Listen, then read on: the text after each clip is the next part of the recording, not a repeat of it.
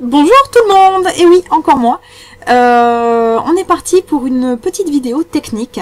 Du coup, une vidéo avec euh, une technique qui est utilisée souvent dans les, euh, les, articles qui sont doublés, comme par exemple les coussins ou les lingettes lavables. On va faire avec lingettes lavables aujourd'hui. la technique du point invisible qui se fait donc à la main. Donc par exemple, on va continuer notre petite lingette visible lingette lavable qu'on avait euh, commencé dans la vidéo euh, sur le crantage, la, vidéo juste avant. Euh, du coup, on va finir notre lingette puisqu'on avait juste retourné la lingette et repassé, mais elle a toujours un joli trou là. Donc on va la terminer avec le point invisible. Donc pour les besoins de la vidéo aujourd'hui, je vais utiliser un fil contrastant. Donc on va utiliser un fil rouge bien bien flashy comme il faut, donc ça va être très visible. Mais euh, bien évidemment, quand vous faites une couture invisible à la main, vous la faites, euh, vous la faites avec un, fil de couleur, euh, de couleur assortie, de couleur assortie à votre tissu, tout simplement. Alors, pour faire le point invisible, donc ça se fait à la main. C'est une fois qu'on a cranté et retourné euh, notre, euh, notre lingette, puisqu'on est sur une lingette là, mais ça marche pareil pour les coussins bien sûr, ou pour tout ce que vous voulez fermer avec une couture invisible.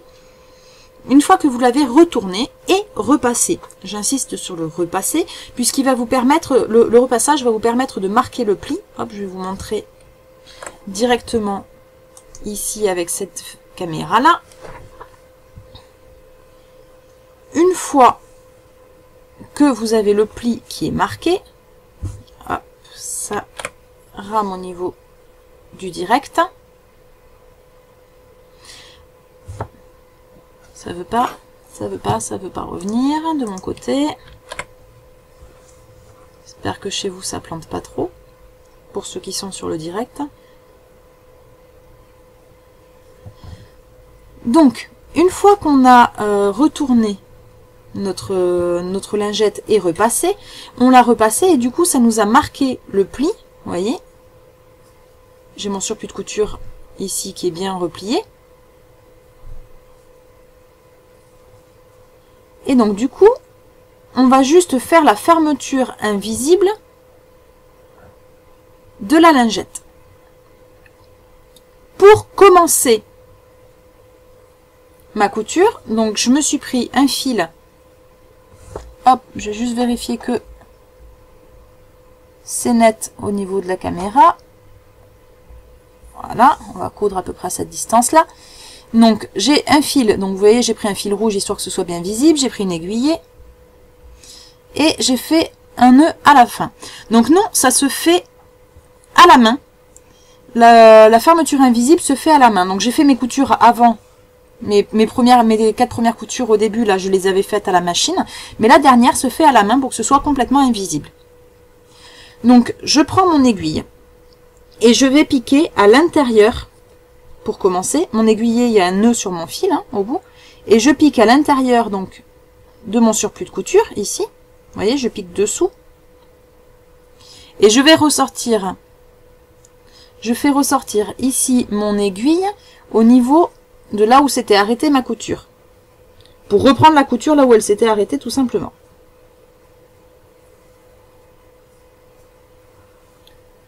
Voilà.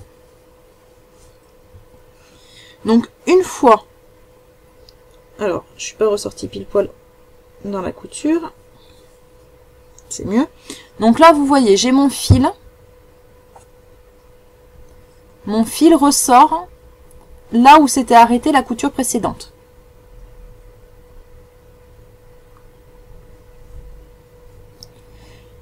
Et donc, mon ouverture est là. Donc, je replie bien bord à bord là où je veux coudre mes deux épaisseurs ensemble. Je les maintiens avec cette main-là. On peut les épingler. Personnellement, je maintiens. S'il y en a trop long, effectivement, il vaut mieux épingler. Et je vais en fait faire un système d'échelle entre mes deux tissus pour les maintenir. Comment je vais, faire cette échelle? C'est-à-dire que pour l'instant, je suis sortie côté tissu blanc. Je vais piquer dans mon tissu bleu et ressortir quelques millimètres plus loin.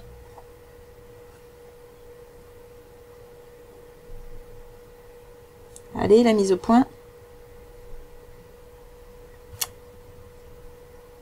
Et B.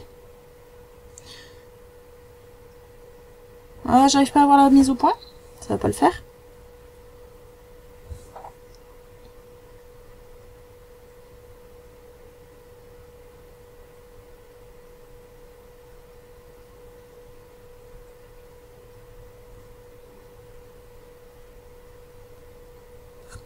Alors, si c'est pas net, ça va pas le faire. Hier, j'ai réussi à l'avoir, on va l'avoir. Là, c'est net. Donc, je pique mon aiguille juste en face, ici, dans le tissu bleu, et je ressors quelques millimètres plus loin. Et ça me fait au final, entre les deux tissus, une ligne horizontale je pique ensuite à l'exact endroit où je suis sorti mais dans le tissu blanc et je ressors quelques millimètres plus loin. Vous voyez? Pour l'instant, je ne vais pas les serrer les points pour que vous voyez vraiment l'échelle qui se forme. Vous voyez, j'ai ici un premier barreau de l'échelle, ici un deuxième barreau de l'échelle. Je fais pareil en face, je pique et je ressors quelques points plus loin. Donc là, j'ai piqué pile poil en face dans le bleu et je ressors quelques millimètres plus loin.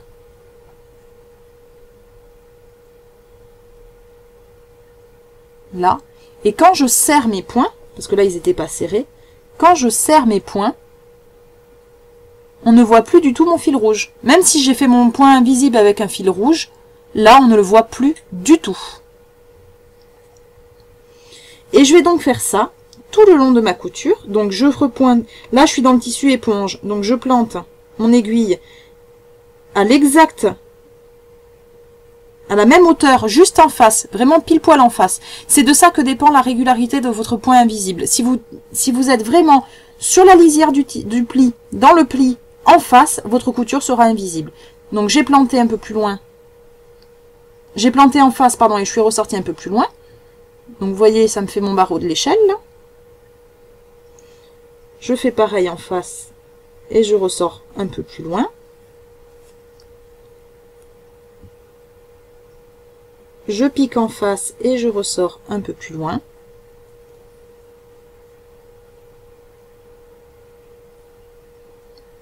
Et quand je le serre, quand je serre mon point, il est invisible. Pour ça qu'on l'appelle un point invisible, c'est que vous voyez, on voit plus du tout mon fil rouge et on voit pas, on voit pas la couture. Alors, quand je pique en face et que je ressors un peu plus loin, bien sûr, il faut pas ressortir 3 euh, cm plus loin. En général, je fais 2-3 euh, mm, des points de 2-3 mm. Je pique et je ressors un peu plus loin.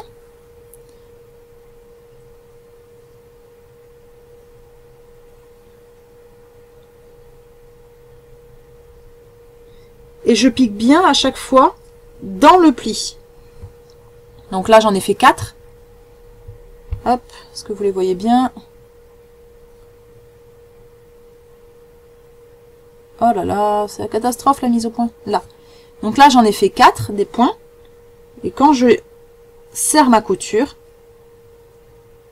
mes deux tissus sont serrés l'un par rapport à l'autre. Et on ne voit plus rien. Et pourtant, je couds avec un fil rouge sur du tissu bleu et blanc. Donc normalement, si ça devait être visible,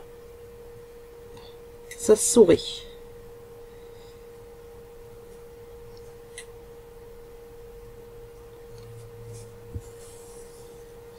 Donc là, pareil, j'en ai fait 4, je serre ma couture et je suis arrivée ici au bout de mon ouverture. C'est-à-dire que là, j'ai rejoint ma couture, euh, ma couture de départ.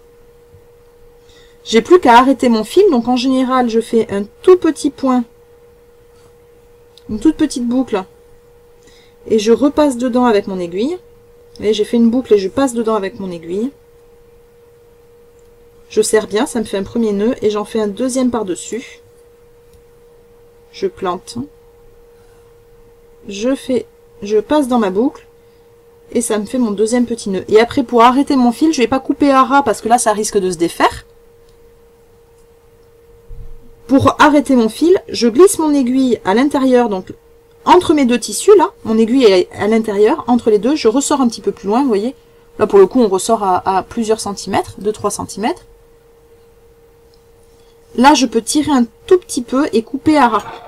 Je coupe mon fil à ras, vraiment à ras, ce qui fait qu'il se re-rentre à l'intérieur. Mon surplus de fil est à l'intérieur. Ma lingette est terminée.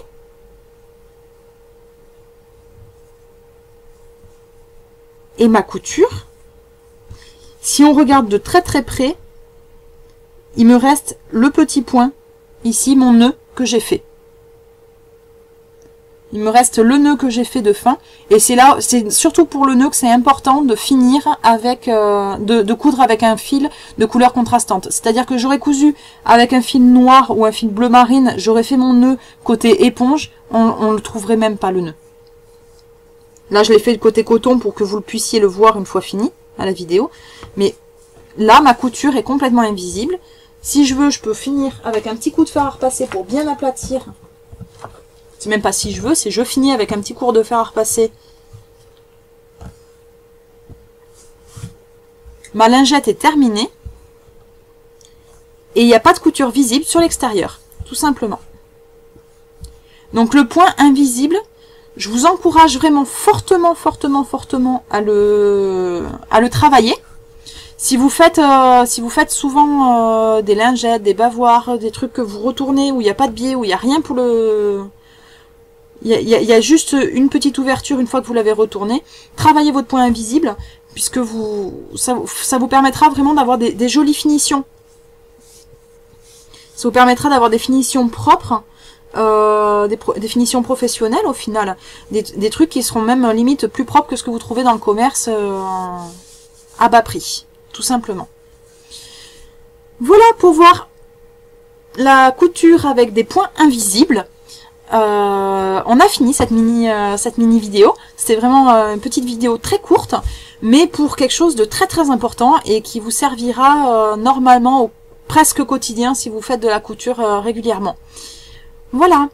Euh, je fais les montages rapidement, comme d'habitude. On essayera de vous mettre des liens euh, pour aller vers... Euh, je vais mettre les liens en dessous, pour, sur les côtés même. Là, hop, ici, il y a des bandes sur les côtés, on va les utiliser pour mettre... pour mettre vers les anciennes vidéos, vers la page Facebook, la chaîne, le Tipeee et tout ce qu'il faut. Voilà je vous souhaite une bonne après-midi, puisque pour une fois on a fait ça en journée. Et puis je vous dis à très très vite pour, euh, pour une prochaine vidéo. Bye bye